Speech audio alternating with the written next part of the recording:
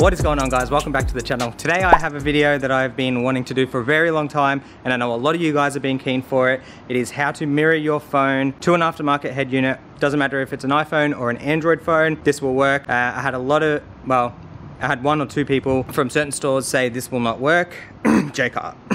And they were wrong because I knew it was going to work uh, and I tested it and it works. So we got the Alpine ILX702D and the Pioneer DMHZ6350 uh, and the reason for that is one of those units, the Alpine unit, has a HDMI input and a lot of head units will have this, uh, especially in the Alpine and Kenwood range.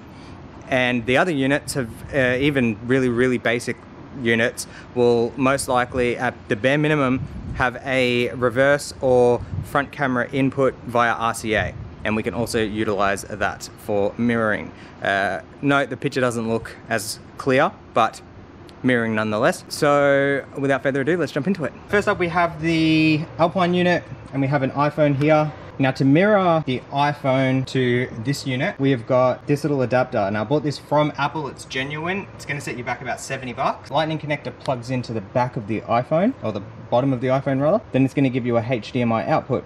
So for the Alpine unit and the Kenwood unit and any other unit that has a HDMI input, this is really nice and easy. We're gonna go iPhone with the lightning, HDMI, right, we're gonna plug that in.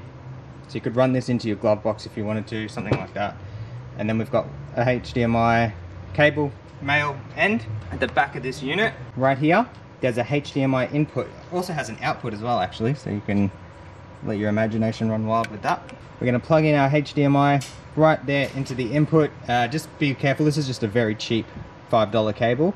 Um, if you get a nice heavy duty expensive cable, they're usually pretty thick at the plug and it won't fit in the back of that unit, so keep that in mind. All right, once that is done, we go menu, scroll over. Oh, make a liar out of me. Let's unplug this, plug it back in, just on the phone side there. Now we've just had a new pop-up. And there you go. So you're gonna get sound output, video output, everything through HDMI, really nice and easy. You can see I'm using the phone here. That's all coming up on the screen. We'll get a closer look at that. Okay, so we can go YouTube, start playing something. Phone's gonna think it's AirPlay, and then there you go. That's YouTube. I did hear something about Netflix not working. I think it might just be in Australia or it might be across the globe, not sure. But if I log into my Netflix account, let's just play with some friends. Never mind. There you go. That works too. Probably heard this from the same guy at Jaycar. Um, you're not going to hear any sound on this video because we've got no speakers connected to the unit. I've noticed it's very touchy. So if you can see it's dropping out there, it's sort of make a liar out of me now never mind. As I was doing this before, it was dropping out, but anyway. And there you have it. That's Netflix. If you've got any other apps, uh, some people have Kayo and all these other sport apps, they will work as well. But that is essentially it for the Alpine unit or any unit with a HDMI input. Very easy. We've just gone lightning HDMI adapter with a HDMI cable directly to the unit and it works and it's great. For the units without HDMI, it's a little bit harder and we'll look at that right now. Boom, there we have the brand new unit from Pioneer. This is the 6350. Uh, and now to make this work, we have some extra parts, which we'll look at right now. To simplify this, guys, we've got the iPhone to lightning adapter to HDMI, also has USB-C. And then we went HDMI directly into a HDMI head unit. That will work great. If you've got an Android phone, you can just get USB-C directly to HDMI. Uh, if there's an adapter, you can use that also. Either way, for a unit without HDMI input, you're going to need something like this. This is very expensive for what it is. I think this is about 100 bucks. Okay, and there it is there. So what that does is we go iPhone adapter HDMI, HDMI into this, and it converts the signal to composite or RCA.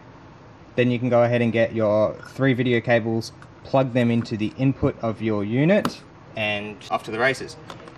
Now, this thing does need power, so it comes with a little USB. On one end you've got mini USB that plugs directly into the device and on the other end you've got normal USB so you can plug that into an adapter in your car or you can hardwire that. Video in the top right hand corner on how to do that right now.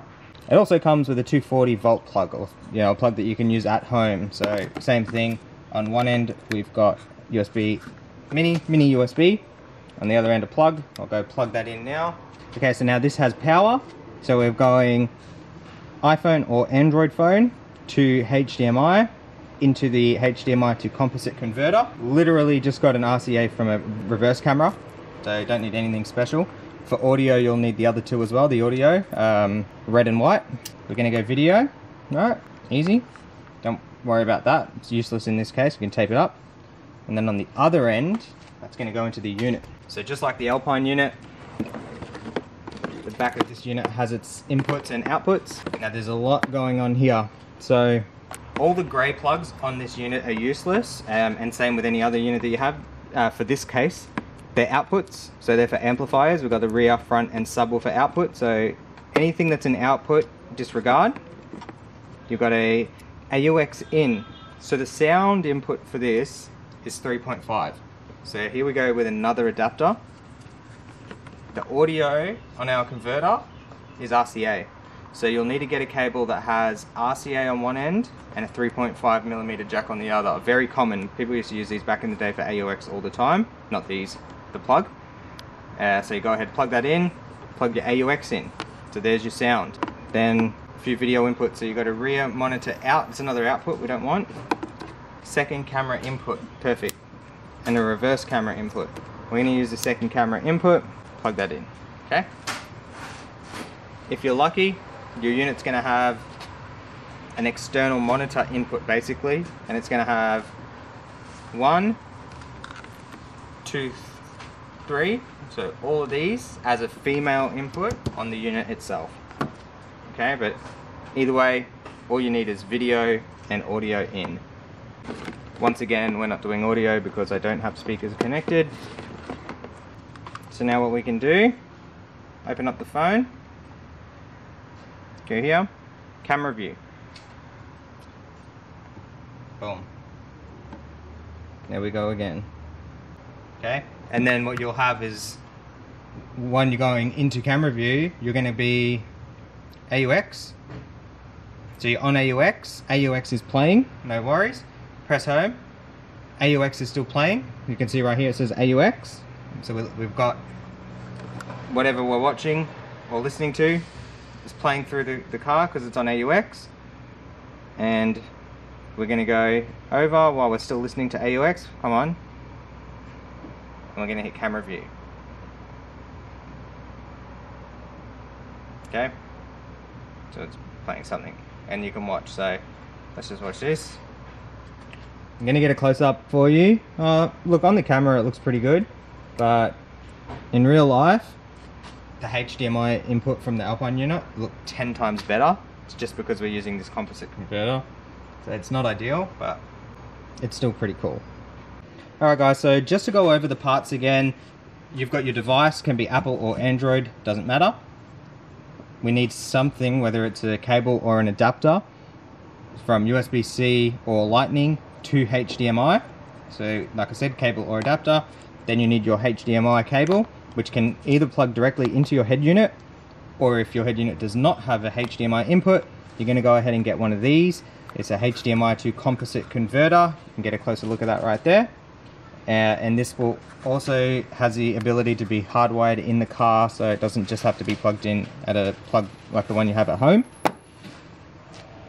And that is it. Uh, with the HDMI, sound is just going to work via the plug. With this, you're going to need your video left and right audio signal um, and plug them in. So you'd be better off getting a single video cable like that a single video cable here a left and right audio to a 3.5 millimeter jack. So that way audio will work with any head unit video will work with any head unit. Win-win guys that is it that is how it works i know a lot of you guys have been keen to see that we finally got the video up now, I hope it all made sense. If anything doesn't make sense, drop a comment below and I can help out.